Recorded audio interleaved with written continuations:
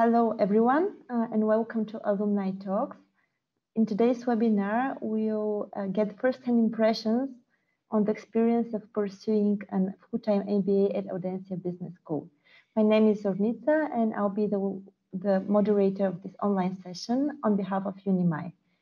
First of all, I'd like to thank you all for joining us and to welcome our panelists, Mr. Benjamin Rethmel, International Relations Manager at the Administration at the Admissions Department at Audencia, as well as Xinwen, Jiang and Ricardo Arenas, two of the current MBA students at Audencia. They will be telling us more about their decision uh, to start an MBA and how it contributes to their professional development.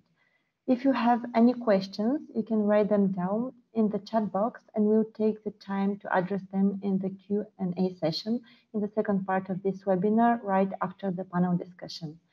Before we start, uh, let us double check whether everyone can hear us well. Uh, so I'll kindly ask you to write the country you're coming from in the chat box. Can I uh, ask you to do that, please? Or attendees?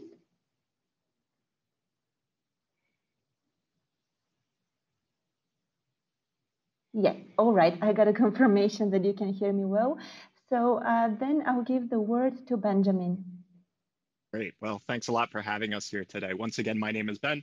I work in the International Admissions Office. So for anybody who does uh, decide to apply for an MBA program, I'll be here to uh, go through your application and help you with any sort of questions that you may have. You can also contact us at international at audencia.com. And today I'm joined by two of our MBA students because I think it's really important to be able to see what it's like to be uh, an MBA student in the classroom. You know, there are a lot of questions that you may have when you're deciding what type of a program or where should I go to study. So some of the greatest sources of information is from our students themselves. And we had already received a certain number of uh, questions and we have questions that normally come up in these types of discussions. So I guess just to kind of kick off our discussion, I will um, ask both of you to, to sort of uh, weigh in on this, but I was wondering, you know, how did you actually decide to uh, uh apply for an MBA or pursue your MBA? Talk me through a little bit of the, the, the the decision making process that went through your mind when you were uh, deciding to apply for one of these programs. So Xinwen, do you think that maybe you can start us off by answering that? Yeah, no problem. Um, hello, everyone. Uh, a couple of words on my uh, about myself first. My name is Xinwen. I'm from I'm from Shanghai, China. And before joining Audencia, I had been working as purchasing manager for the biggest Spanish supermarket chain, Mercadona, for almost seven years. Um, I'm a person who believes in continuing learning. So, and by the end of my previous job, as I have accumulated uh, like almost uh, more than six year experience and developed deep knowledge in the field, I feel like I wasn't learning as much as I used to or as I as much as I want to. And simply I felt less motivated at work. Besides, I think that I've always had some entrepreneurial spirit in me. So I wanted to learn more about um, entrepreneurship and also explore uh, the opportunities that are there uh, out there. That's why I decided to quit my work and pursue the MBA. Uh, the MBA. And uh, why do I choose? Uh, why did I choose France? Um, well, I decided to study in France because of the many cultural similarities with Spain, where I have been living before, and uh, yet there are many differences. Um, so it's somewhere I believe that's um, where I believe I can experience the familiarity and also the excitement of uh, with learning new things. For example, a totally different language. And uh, besides, it's interesting because eight years uh, eight years ago, I was when I was living in Colombia, I had my uh, best friend whose uh, daughters were studying in Nantes. And that was the first time that I heard about the city. And they told me that, if, that it's a very charming place. So that is one of the reasons why I chose um, Nantes. And Audencia is uh, obviously the best business school here. So that's the reason why I pursued, decided to pursue an MBA and specifically in Nantes. Great. Thanks a lot for sharing that with us. And, and Ricardo, maybe uh, I'll ask the same question to you. Maybe you can kind of give us a little bit of information about yourself and, and some of the decision-making processes that went through you know, deciding to apply for an MBA. Yeah, sure, man. Hello, everyone. I'm Ricardo. Uh, I come from Mexico. Uh, a little background of myself. I was working in Uber uh, as a retail operations manager. That is all the activation centers that Uber has uh, for the drivers. So I was managing uh, seven uh, cities in, in Mexico. And the reasons why I decided to pursue an MBA, first of all, is uh, to combine my professional experience with uh, some knowledge about how to manage people in a theoretical way. One advice that I can give you is to think about what do you want to, to do in your uh, next steps in your professional career. In my case, uh, I want to keep managing people. and I want to keep being in these human and people roles. So for me, it was a clear decision that uh, MBA gives you these kind of tools uh, that uh, will help you in uh, managing people, in realizing your inner skills, and become like a, a, generalist to see different parts of the organization. It's a very good element of the MBA. Um, also, uh, I wanted to expand my networking in an international way. Uh, you know that I know that you have different opportunities in your home countries to study an MBA. But in my case, I would like to go in a international schools that uh, offers this opportunity. And finally, similar to Xinwen, I was looking for a top school, uh, not only in, in France, but also in Europe. And one advice is also to look at the rankings and the certifications. And you are going to see that uh, Audiencia is very uh, top in the rankings and has the triple crown. It's something but it's uh, just acquired by 2% uh, of the schools. So that's my reason why I decided to study an MBA here in Audiencia. Great, thanks a lot for that. And I mean, I think that there are lots of different paths that take us to an MBA. So it's great to hear about some of the different reasons why people might decide to go on to this type of uh, study. But I think also what a lot of students want to know is what is it like to really be in the classroom itself? So I guess I'll, I'll also ask this question to both of you and starting off with Ricardo, I was wondering, you know, could you maybe tell us a little bit about what it's like to be in the classroom and maybe some of the things that you enjoy the most about the MBA program? Sure, Ben. Uh, the first thing is the multicultural alumni that we have in the classroom. Uh, we come from uh, four of the five continents uh, in the earth. So for me, it's very enrichment that we have a different discussion depending on the country that you uh, were uh, before. We have different point of view, uh, we have like this uh, multicultural environment uh, that will help you to analyze all the different elements of the class uh, from a different perspective. That's something really amazing of this MBA. And on the other hand, I really like the class, the structure of the class. Uh, for instance, we have uh, case studies, it's not just the lecture that you are going to listen to the professor, but also you are going to analyze and sometimes discuss with your classmates, with the professor, what do you think that uh, the uh, the answer of certain problem is that?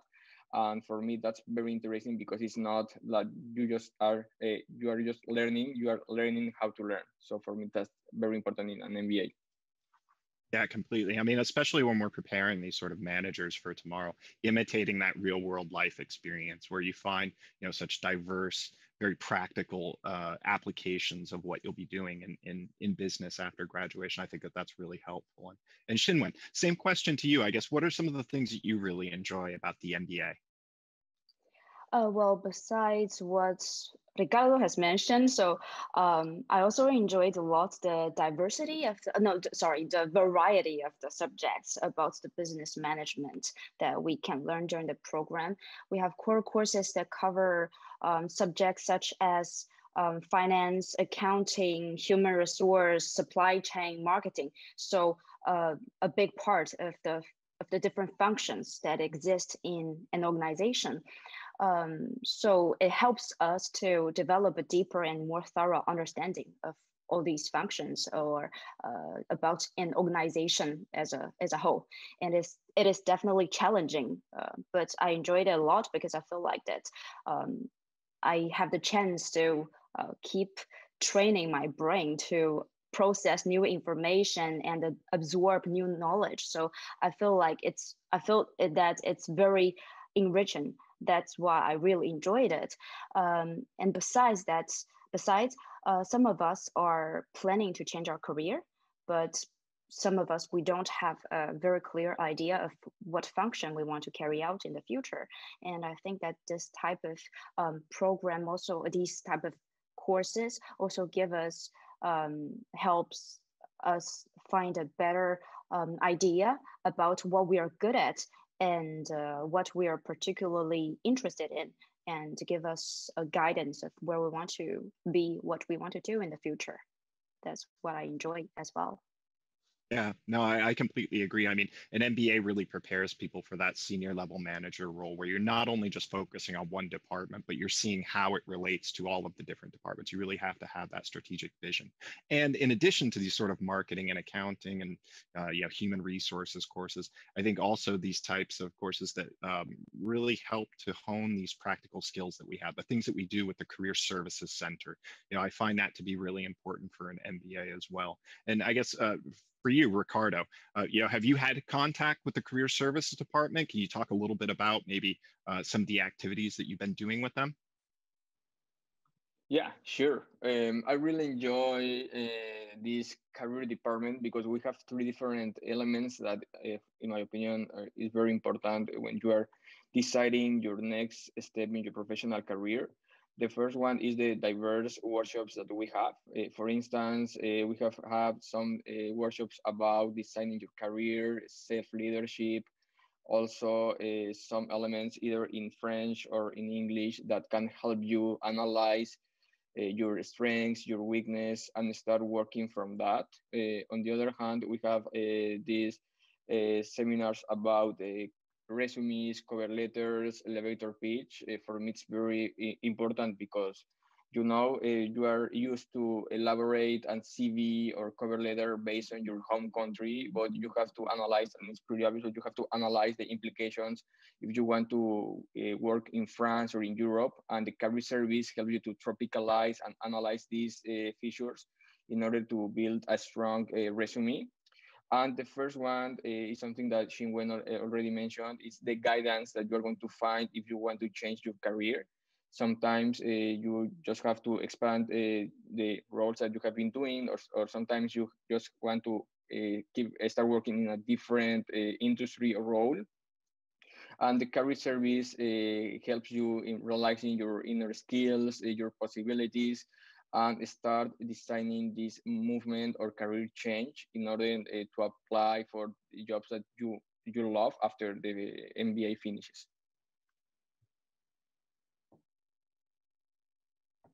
Great, thank you for that. Um, so, you know, we've been talking a lot about like what goes on in the classroom environment and some of the services that we have on the campus. But a lot of times I'll get questions from students about what it's like, you know, off campus, you know, what is it like outside the classroom? Everything is in English in the classroom, of course, but, you know, we're located in France. So, so sort of what is that like? And, and I guess getting, um, you know, an international student's perspective, Xinwen, I was wondering, you know, um, how important do you think it is that, that students learn French before beginning the program? Uh, well, I would say, well, it maybe it's not necessary to learn French, as we mentioned. Everything is uh, everything in class is in English, but I would say that it's definitely important to learn French, especially before coming here. Why? Because um, the the program is really really tense. So normally we spend a lot of time on our assignments um, after school or usually also during the weekend. So I would strongly suggest that if you want to start learning French, do it as soon as possible. And uh, from the job finding standpoint, if you can speak French, obviously you can have more opportunities, job opportunities than non-speakers here. Um, and you can also join more webinars uh, as since uh, some of them are only available in French. And um, from the from and for the life, day-to-day life in France, if you can speak some basic French, um, it will definitely make your it will make your life easier, but also a lot more enjoyable. So I would suggest that I would say that it's definitely important both for the um, day-to-day -day life, for your personal experience here and also for the job opportunity uh, from the prof professional um, point of view. And um, especially if you want to work in France, it's definitely absolutely important. Yeah, that's a, a really good point. I mean, just to kind of underline the fact that since everything is in English, of course, we don't require any of our students to learn any French, but you know, I always think it's a great opportunity. It can only help people in their career going forward. You know, language skills are always a plus. It's never anything that's going to hurt you. Uh, in the long run. And uh, of course, you know, kind of harkening back to what we were talking about with career services, a lot of the work that they do is really guide people towards the careers that are right for them. So if somebody is looking to work in France, it's practically a requirement to speak French in order to get those jobs. But of course, you know, these aren't the only jobs that we have. We have quite a few alumni who are working in the north of Europe, especially in the Netherlands, where you know it's not necessary to speak the local language in order to be able to get the job. Um, but it's good to be able to hear, uh, you know, from a student's perspective about the importance of, of learning a language and what the environment is like. It does help with the day-to-day life. And, and I guess another question that we get about day-to-day life that happens to be topical um, is about COVID and, and sort of the effect that it's had, eh, especially in the classroom environment. So I was wondering, Xinwen, if maybe you could kind of continue and tell us a little bit about the impact of COVID on, on the, the learning environment. Yeah, sure. Um, now we're having a hybrid format uh, of uh, courses, meaning that's a mixture of uh, online and offline courses. And uh, actually, Audencia is doing a great job adapting the format constantly according to the changing measures in, in France. Last year, at the beginning of our program, we had um, online courses uh, during the first two weeks. And after we had, after that, we had one month of um, courses on campus uh, until the second confinement in France.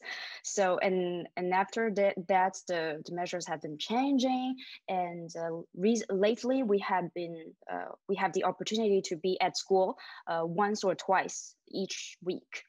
Um, so for the and uh, actually we don't know uh, how what's next week might be because um, the measures can can change at any day, and um, besides uh, we cherish uh, well uh, based on that, uh, apart from that, we do cherish a lot the time that we get to meet each other um, as the opportunities are not as many as there are there were before. Um, and also we were very happy to see each other when we have chances and to see our classmates and uh, and also see our professors physically. I think that actually this situation has taught us to spend um, better quality time with each other every time we have the opportunity to meet up. And I would say that as a group, um, we have been able to establish a very close relationship among us, even though that physically we have been we have le spent less time together than um, the previous cohorts could, and um, uh, and that uh, apart from that, we feel safe on campus. Um, we even have an exclusive classroom for the MBA class on campus. And besides, there are um, sufficient facility in, in facilities and procedures for safety and health measures. So we feel safe um, on campus as well. So that's the big picture of the uh, of how COVID is affecting our in, how the impact of COVID on our classroom environment is. Uh, it's great to hear about that experience inside the classroom. And I guess just to let everybody know as well that for anybody who's applying in the future, these are, are topics that we are constantly improving upon and making sure that we allow for the most amount of flexibility for students when possible um, but also a sort of continuity that when it is impossible, providing that same level of, of education and interaction between students and, and sort of informing people about you know new working styles that I think we're all having to adapt to around the world of uh, remote working and, and the sort of expectations and technologies that go along with that. So great, thanks a lot for, for sharing about that. Now, uh, another question that I get quite a bit um, you know, especially during this period of the year, is, is tips about app, applying for the different programs. Um, you know, we have our uh, admissions criteria that are, are posted on uh, the website. But Ricardo, I was wondering, you know, do you have any tips for anybody who might be listening today? Anything that you'd like to say to potential applicants to help them along with the sort of application process? Yeah, sure, totally. Um, for me, there's uh, there were four main uh, elements that I did during my uh, pre preparation of the MBA that helped me a lot. The first one was interact with uh, the faculty that we are going to have. Uh, for instance, we can start sending message to professors, to the international office to know more about the program. And it is something very useful because sometimes uh, you are deciding um, which elective uh, you are going to take. You are deciding whether uh, you will have to uh, select one project or or another. So for me, it's very important that I start having this relation with the future faculty in order to, know more about the program. So that's my first tip. The second is start uh, continue updating with the current situation of France. Uh, as Xinwen mentioned, something very important is to know what's going on. So uh, in my case, and I think that in most countries, there's um, um, a different part of the, the, embassy that is called Campus France that you can go on the webpage and know what's going on in France and with the students' uh, requirements. The third one is create a network from the beginning. This is very important um, because uh, you are going to have, as Xinwen mentioned, a very good experience with different classmates. And it's uh, the soonest uh, you start interacting with them, uh, the, the, better will be for your studies. Uh, so it's just easy to create a WhatsApp group. Also use the available resources that we have. For instance, go to the Facebook uh, webpage of Audencia and start knowing what's going on there, the, your future classmates, etc. Uh, and finally, start looking for uh, your residence. If you already have your your uh, acceptance letter, please start looking for the residence because it's not impossible to find a residence when you're in France, but it is more complicated and you will be a little bit stressed if you continue to you start doing that uh, when you arrive France. So I would tell you that start looking for your residence from the beginning. That will help you a lot. Uh, it's some great advice. I really think about connecting with people, whether it's on you know the side of the institution. Of course, we're here to help you with anything that you need for uh, you know visas or you know with with housing. You know you can always contact us at international@audencia.com, or we also have scheduling systems to set up calls with us. But also from the student side, you know reaching out on social media and starting to build that network ahead of time uh, with the people who are going to be joining you in the class, getting to know them and really uh, you know starting to build that group around you that's going to follow you you know really through the rest of your career is what a lot of people are looking for um, you know when they're considering an mba and I, I think it's really just kind of a continuation of the professional life that we have before the MBA that kind of goes into the program itself. And, and that leads me to a question that I get quite a bit of, you know, a lot of people who are applying, they're professionals. They've got, you know, a 40 hour a week job, um, they've got responsibilities, and I guess they're kind of wondering what it's going to uh, change in their lives. You know, this is going to be kind of a, a, new chapter in their lives. So I, I was wondering if maybe um, you know we could start talking a little bit about what the the common schedule is like. What's you know what's life like as a student? How does it really kind of compare to what their schedule may be? And I was wondering, Xinwen, if maybe you could kind of uh, give me your perspective on um, sort of the common schedule on on the program. Yeah, yeah, no problem.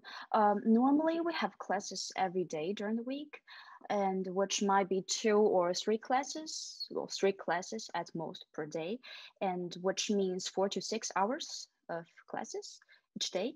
And we start at generally we start at eight uh, 15 in the morning and we finish at 4 p.m. or latest or the latest six a quarter past six in the afternoon. Um, and we also have some free days from time to time.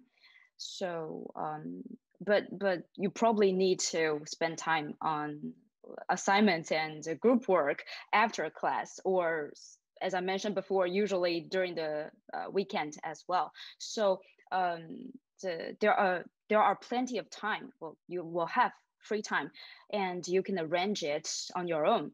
But as we mentioned, it's a very tense course. So it means a lot of effort both inside the class and outside the class. So that's yeah i do. I, I mean i explain it just like a full-time job really. I mean if you're not in class then a lot of time you're working on group projects or you know there are a lot of different presentations and, and networking opportunities that are offered outside the class sort of optional activities that you can use to you know really enhance your your professional profile. And, and ricardo you know what are some of the things that you're doing outside of class? I mean what type of networking opportunities have you found during the program yeah, I, think that uh, one advantage of the MBA in Audencia is, the, is that you are going to find several opportunities to network uh, here. The first one is pretty obvious, is the international networking that you're going to have in the class, but it is uh, pretty um, important because as Xinwen mentioned, it, it, we are going to have like a, a real uh, interactive group within the MBA so if you can start interacting and uh, networking with your classmates, that would be very useful because uh, at the end of the day, they can also become uh, some real friends after the MBA finish. Um, the second one is uh, the Students Association. Uh, and one uh, interesting element of Audencia is that you're going to find a different variety of associations here. So you can start networking with French, French students and start practicing your French uh, if you are enrolling in these kind of associations. And then uh, you have the opportunity to network in the career service. Uh, um, last week we have like a meeting with some different MBAs programs inside Audencia, executive MBA, and an MBA in Algeria. Uh, so you have an opportunity to expand your networking uh, thanks to the career service. Also, uh, in Audencia, you have an internal web page in where you can uh, see different people that has done some internships in a relevant uh, area that you may have interest in. So it's another opportunity that you can network. Um, and the final one, it's uh, LinkedIn. It's pretty obvious, but Uh, you can find your uh, professor, your faculty, and another uh, former alumni here. So it's a very good opportunity to start interacting with people with similar interest. But uh, one uh, last advice is that it depends totally on you. you. You have these kind of tools, but it is important that you can take advantage eh, of eh, most of it. So yeah, there's several opportunities, but you have also to look for them. Great, great advice. Thanks a lot for that. Uh, so now what I'd like to do is really kind of open it up to you who might be uh, listening today to see what sort of questions that you have. I've already received a couple of them, so I'm going to go uh, through those, but feel free to use the chat box or the question and response uh, section on Zoom and I'll be taking a look at those and, and we'll bring them up. One thing that I think I'll address is something that I've seen in the chat box already about the hybrid option for next year. So we've been talking about these sort of online and on-site options. And yes, for 2021, we foresee that we will be uh, using this hybrid option as well. So uh, the idea behind it is that we want to give the most amount of flexibility to people who might have difficulties in traveling, uh, who might have problems with visas. And of course, you know, we also want to adapt depending on what the global pandemic situation is. If we do have to close our doors, we want to make sure that we are able to move anybody who is on site uh, into an online format and of course keep all of those services um, that are offered on site available as well. So, you know, continuing to allow people to make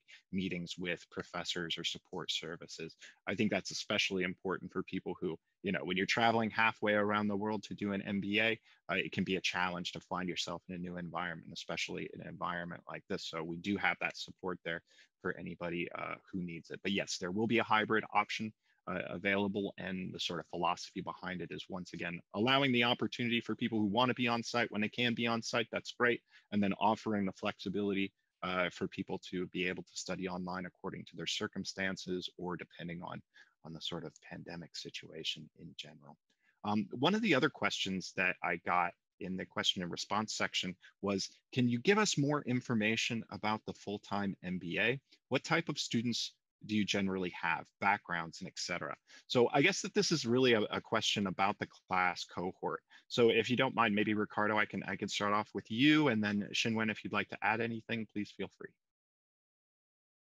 Yeah, sure. Um, I can tell you that we have an extensive variety of people here with diverse industries. Uh, for instance, we have people uh, from uh, the retail industry. I was in Uber in the retail industry. Also, we have people working uh, in different parts of uh, law uh, of uh, in China. We have also people working in India. So, in my opinion, it's not a, a, matter of just the industry it's a matter of the soft skills that you want to develop so if you are working in any type of industry and you are not sure about what uh, your next step is going to be I definitely uh, recommend you the MBA because this will give you an uh, holistic approach of the different parts of the organization. It will give you an approach of the managerial experience, as Ben said, that you are going to be uh, working as a leader for after you graduate. So for me, uh, my response would be, yeah, we have a diverse cohort, but that, that is the good part of the MBA because it's very enriching great to hear. I mean, I really think the philosophy behind building the cohort is about you know finding that strength and diversity. And you know, we did have another question that came up um, in the question and response section asking about somebody's profile in particular. They say, you know, I have eight years of experience. Does that put me at a disadvantage when it comes to the full-time MBA? And and you know, from my perspective, at least when I'm dealing with applications, I mean, this is really sort of the the main area that we're focusing on when we have people coming into the MBA. Of course, we have people who have a lot more experience, people who have a lot less experience, depending on the industry. But I think you know, uh, eight years of experience is a great amount of time to be able to get the responsibility, to be able to have that sort of project and people management skills, and then to bring that experience into the classroom and to share that with others. So for me, eight years of experience is really in that sort of sweet spot where you've had just enough time to be able to get that level of responsibility that you're going to be able to share with others and you know kind of use the mba as a way to um, you know transition into a new phase of your career maybe into a new industry maybe a higher level of responsibility. But you know for me i, I really think that uh, you know mbas are made for that type of profile. And we want to see as much diversity in the classroom as possible because somebody who has a lot of experience has something that they can learn from somebody who has less experience, but maybe coming from like a tech industry where things may be moving very quickly, you know, and then that person who has less experience is going to be able to uh, learn from the person who has more because they have that uh, history of working in a particular industry. So yeah, once again, just to kind of emphasize this fact of that in an MBA cohort, you want to have as many different types of profiles as possible so that everybody can learn from each other and not just uh, you know from the professors themselves. So great. Thanks a lot for sharing that. So i did want to move on to one other question which was about online learning. So you know for some people this is a brand new sort of phase in learning. You know, we're all sort of used to being inside the classroom and we have a certain expectation about it, but a lot of people, this may be their first time uh, you know, doing a program online. So I was wondering if maybe Xinwen, I could get your perspective on what online learning is like. What are some of the differences, or what's your experience of of online learning? Yeah, well, as Benjamin has mentioned, um, most of us, either it's both students and professors, are making efforts to adapt ourselves to this new way of learning. On the bright side, um, there are some courses that I feel like that um, that are better better delivered better delivered online. For example, uh, those courses such as finan financial management, accounting, where it involves lots of formula and calculation on the, using the computer. I feel that, that it's easier to follow the screen of the professor online. So, um, and uh, well, there are also other courses that naturally require more interaction with the professor and more discussion. Um, then it is more challenging those cases. But now, as we have been spending five months using using this um, online learning tool, uh, we're getting used to, we're getting more and more used to this format, and also becoming less shy of switching on our cameras and or or our microphone. And we so now we can still make the courses quite interactive. And um, well, after all, personally, I believe that the this whole experience of online learning is giving us the opportunity of developing and enhancing our skills of um, communication communication, teamwork, online teamwork, and online leadership skills, which would be definitely be useful for uh, our personal and professional life in the future. That's what I think. Yeah, I, I think that's a really good point. I mean, a, a, lot of us are working remotely now, and really what we're we're doing in the classroom is once again sort of imitating that real world work environment. You know, we all have to kind of um, get up to date on these skills of different um, collaborative working environments or different ways of working together when we can't necessarily be in the same room.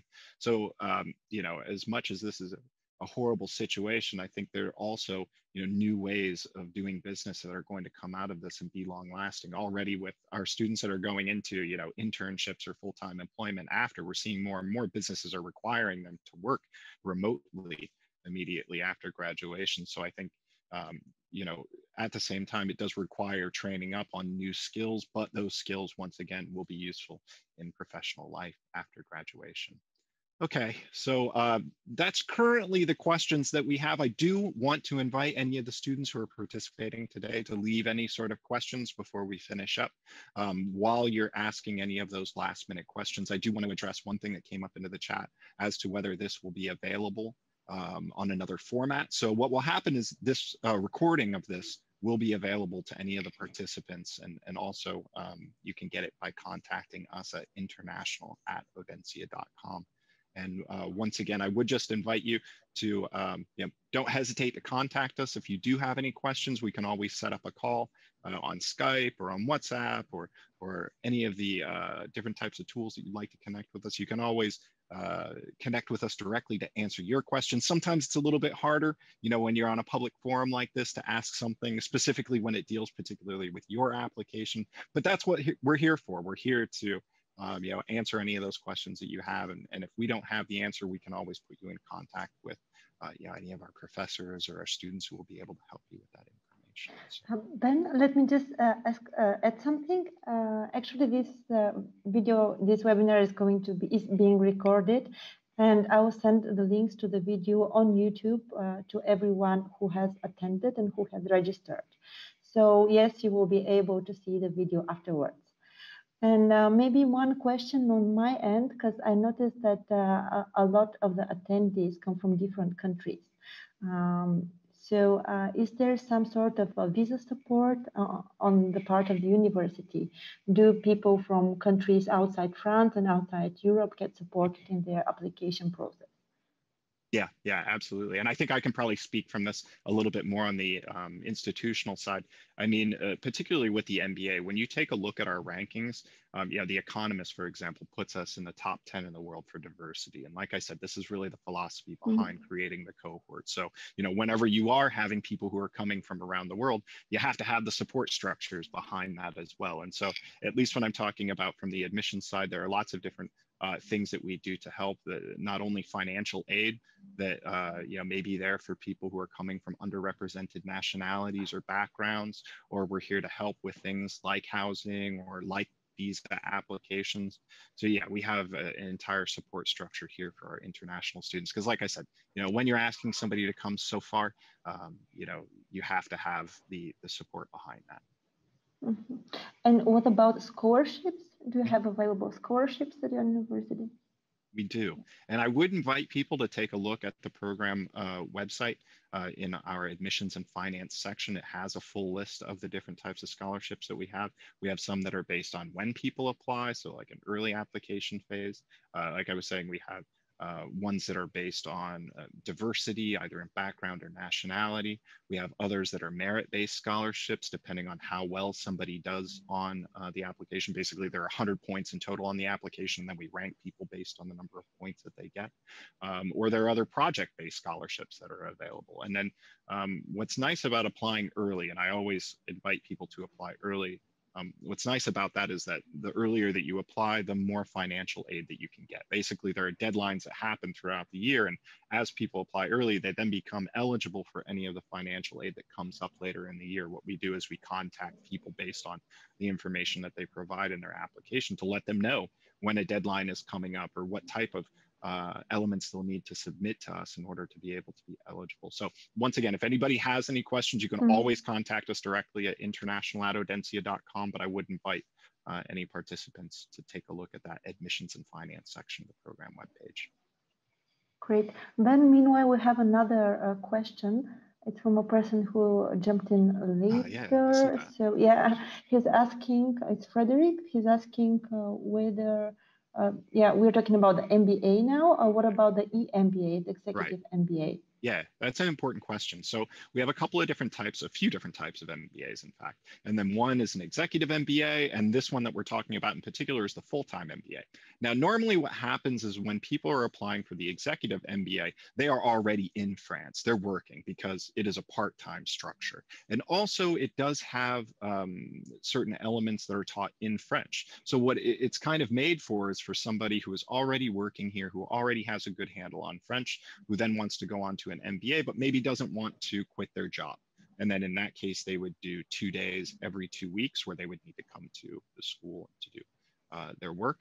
Um, but like I said, there's also a part of it that's in French. Whereas the program that we're kind of focusing on that usually is um, most interesting to international students is the full-time MBA because a lot of times people just kind of want to take a one-year break. You know, two years can be too long, but a one-year break to sort of get that guidance on maybe uh, the types of positions they should go for next, or to get that update in the training, um, and in an international environment where um, they can really kind of progress on their career before moving on in that next chapter in their professional life. So I would say two of the big differences is the rhythm. So it's a part-time structure on the executive MBA, full-time structure on the full-time MBA, and language of instruction, which is partially in French for the executive MBA and entirely in English for the full-time MBA. Great. Well, maybe then one last question, just to yeah wrap up uh, to uh, Ricard, to Ricardo and Xinwen. Um, like I guess you have applied or um, at least research other MBA programs. So why MBA at Audencia? What makes it stand out, and why would you recommend it to others?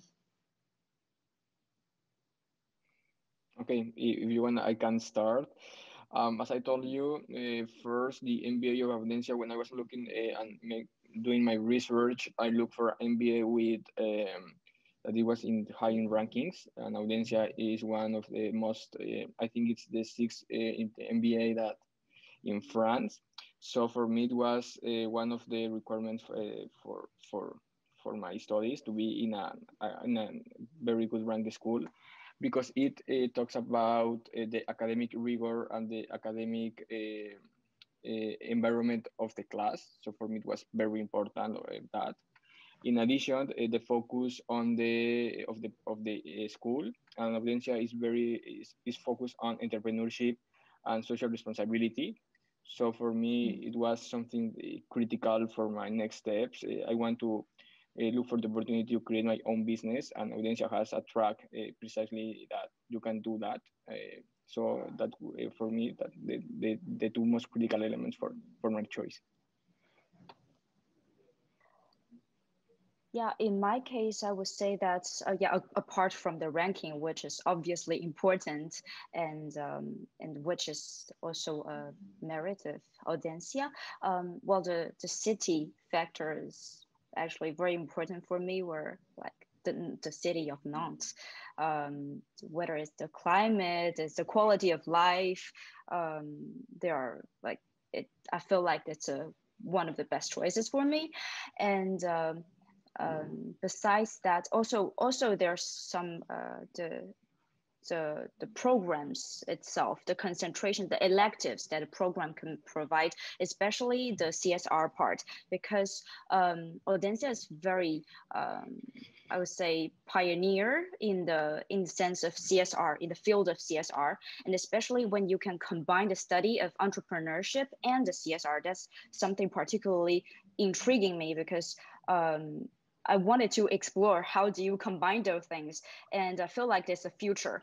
I mean, people started to talk uh, recent year in recent years. Um, people are starting uh, have been starting to talk about this, um, especially the CSR, but um, it's still. Uh, pretty new a pretty new topic so i think that if we dedicate time um, invest time in in these type of topic in the future um, will have uh, advantage over the others who might join um, these fields after us. So I think the concentration of CSR and entrepreneurship that Audencia can provide is uh, very interesting. Um, So that's some of the reasons why I choose to study here.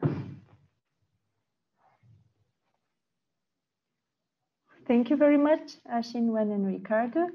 Uh, um, ben, yeah, if you don't have any any other comments, maybe no, that's really it for me. I mean i do see that we have uh, some students who are kind of contacting us about uh, you know something that deals more with their application in, in, particular. So once again i would just reach out to you to schedule a call with us or to contact us and we can really kind of dig down deeply into what program is right for you based on your background and your needs. Hmm. yeah uh, as I, as I mentioned, we'll send everyone who attended the registered uh, an email, uh, not only with the link uh, to the to this uh, webinar uh, in, on YouTube, but also with uh, with Audencia's contacts, the contacts of of the admission um, admission section. So everyone uh, who had some questions but wasn't able to, to ask them now, or if the questions pop up later on, uh, you have the contacts you can uh, write to in order to get your questions answered. So uh, Ben, uh, Xinwen, and Ricardo, thank you very much for taking your time to answer all these questions and to share your experience. It was really interesting and useful. Uh, so I yeah, I would like to, to thank you once again and to wish you a lot of success uh, to you and also to the attendees uh, who are uh, considering their MBAs. Um, good luck with your academic uh, development and we'll keep in touch with all of you and hope to see you soon.